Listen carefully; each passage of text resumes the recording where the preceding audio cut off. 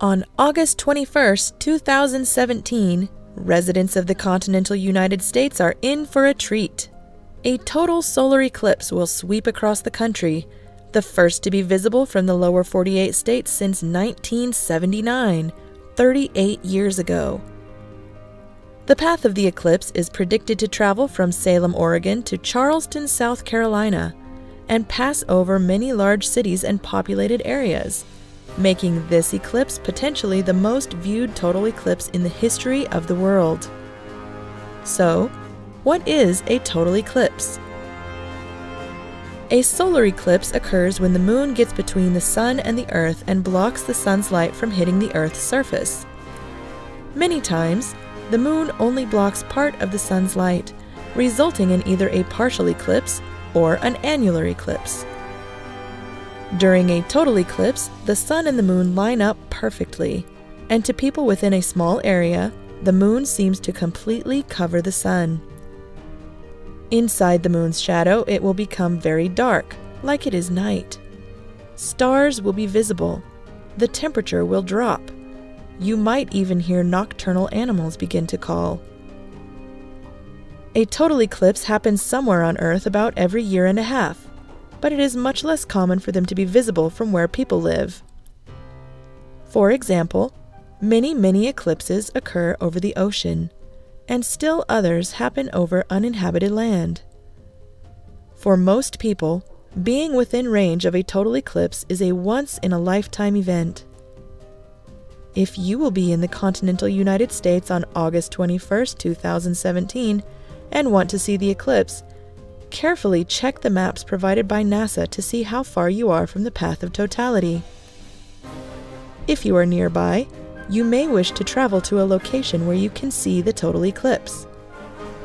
It's a good idea to make plans ahead of time and carefully select a place to watch the eclipse. Remember, thousands of other people will also be traveling to view this rare astronomical event.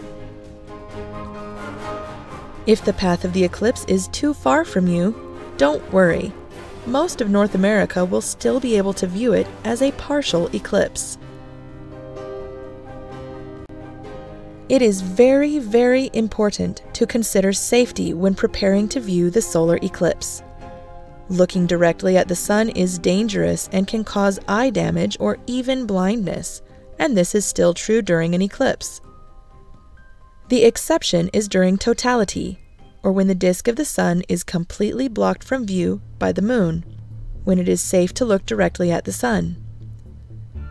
However, totality will only last at a maximum for 2 minutes and 40 seconds, so it is important to prepare to observe the eclipse in other ways. There is only one way to safely look directly at the sun when it is partially eclipsed, and that is through a special solar filter. Solar filters can be handheld or in the form of eclipse glasses. Be sure whatever filter you select is ISO certified and check to make sure they are not scratched or damaged before use. Except during totality, do not look at the sun through a camera, binoculars, or a telescope, even if you are using a solar filter. These devices concentrate the sun's rays and can seriously damage your filter and your eyes. For those without solar filters, there are simple indirect viewing methods you can use to track the progress of the eclipse towards totality. The first is simple. Look for a leafy tree that casts a shadow on a smooth surface. The tiny gaps between the leaves will project the image of the eclipsed sun. If there are no convenient trees nearby, you can crisscross your fingers to get the same effect. Finally, you can make a pinhole projector to cast a single clear projection of the sun. Take a piece of card and poke a small round hole into it.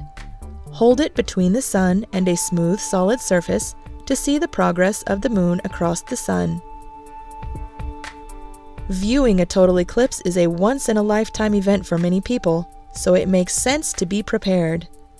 Don't forget to check the maps for the time and location the eclipse will occur nearest you. If you wish to view the eclipse directly, be sure to purchase a certified solar filter to protect your eyes.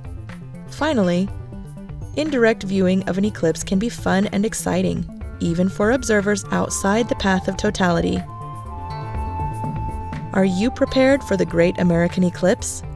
Good luck in your viewing, and goodbye till next time.